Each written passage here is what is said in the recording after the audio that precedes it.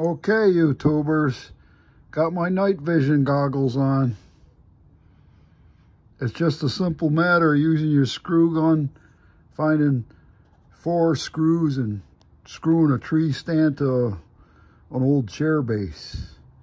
And then you get yourself a four by four or a cardboard tube or round fence post or tree branch and chuck it in there and put the screws to it.